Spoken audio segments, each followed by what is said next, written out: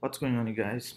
Welcome to the Pinnacle and in this video I'm going to show you how to create a new uh, playlist on iTunes. It's very simple. Once you're on iTunes you click make sure you are here command N just press command N and it will create a new playlist. See playlist you can name it uh, what, what do you call it important song or something my songs right my songs whatever yeah that's it and uh, these are the top 25 most played songs I've I played. I don't have many uh, songs here in this uh, laptop. It's on my old laptop. But or you can also well, I mean that's the thing. But you can also go to File, New Playlist, right? You can do that, create another playlist. But yeah, my songs. So top 25 most played songs, right? What do you do? You go in, you select one, Command all Command C, right? You copy, and then my songs. What do you? You oh what the heck?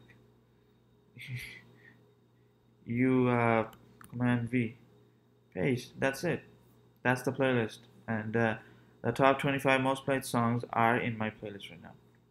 You know now you can delete it you can add more uh, more stuff in it right? So delete Ed Sheeran whatever I got a shape of you oh no. Uh, yeah delete. See I you want to remove the selected songs from the list. Yes remove song bam game over. But when you delete it it's still in your top 25 most played uh, let's see Ed Sheeran shape of you still there. Uh, yeah so it's simple as that. And I want to add something say recently added I go in I got Sean Paul get busy. And command C go in my song I uh, command V.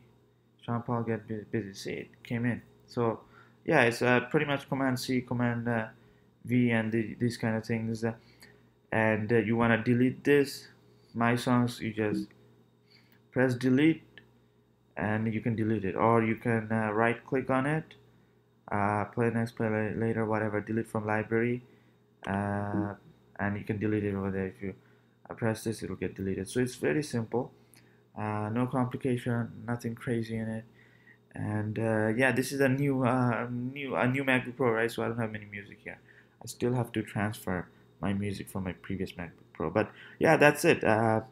you got questions, comment, let me know. Otherwise, thanks for watching. I'll be putting out more videos no question about it. And uh, so stay tuned you guys. And thanks for watching. Don't forget to share subscribe and like. Peace out